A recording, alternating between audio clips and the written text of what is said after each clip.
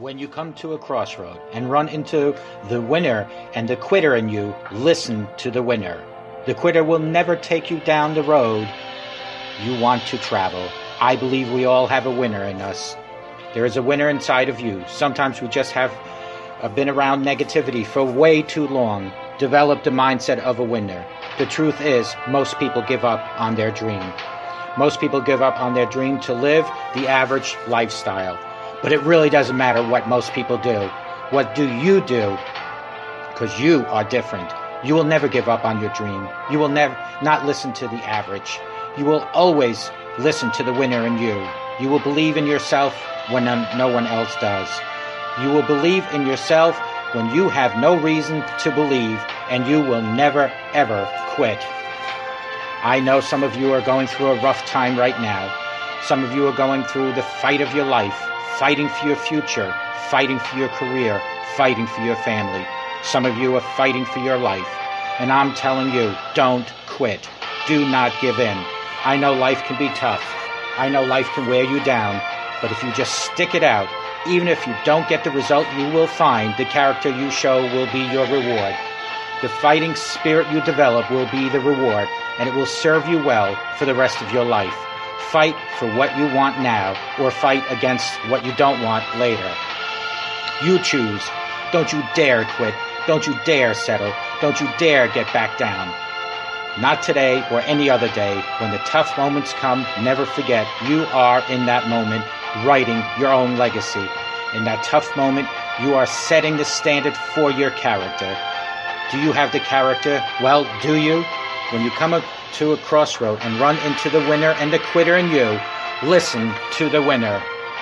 When you make a commitment to yourself, you make sure you see it through. Never, ever quit.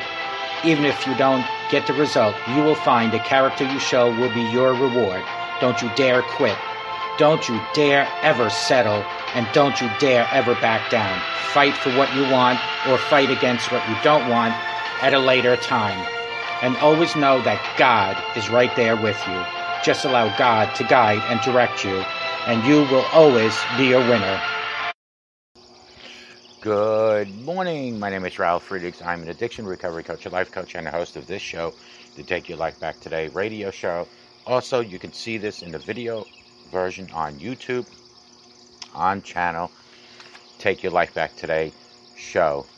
Early Sunday morning, Good morning, all. I want you all to listen up right now. Just open up those ears. You owe it to yourself. You owe it to yourself to be great. You owe it to yourself to be the best you can be. Some say that's selfish. Some might even say they owe it to their family to be there for them.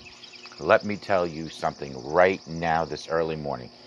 You owe it to your family to set an example an example of someone who lives the life they want to live.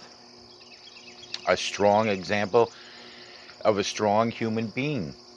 You owe it to everyone you love to set an example of what a great life looks like so they can follow you in your footsteps. Settling for less, it stops with you. Accepting average, it stops with you strength, courage, determination, and a beautiful life, that starts with you. You can't help anyone until you help yourself. And when you make you strong, that strength will spill over to everyone else. They will be inspired by you. They will follow your example. Some say to focus on yourself is selfish. I say to settle for a mediocre life you hate is even more selfish because that will be replicated for many generations to come until someone says, enough is enough. I am more than this. I'm worth more than this. You owe it to yourself to see how far you can go in life. You owe it to yourself to earn the kind of money you want to earn.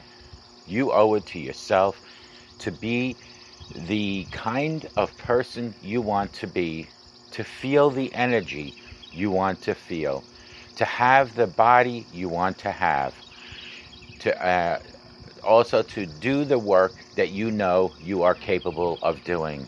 Don't settle for anything less. You owe it to yourself to feel the pride of knowing you made your life. You didn't get lucky, you worked for it, you sacrificed. When it was hard, you pushed harder. You owe it to yourself to feel that pride. You owe it to yourself to look back one day and say, That was the moment that I shined. That was the moment I decided no more. That was the moment I decided no excuses. That was the moment I said, Never again, never again will I settle for less. I will work, I will ask, and I will learn. I will not stop at hurdles. I will not stop at setbacks. I will persist until I win. You owe it to yourself this early morning. No one else.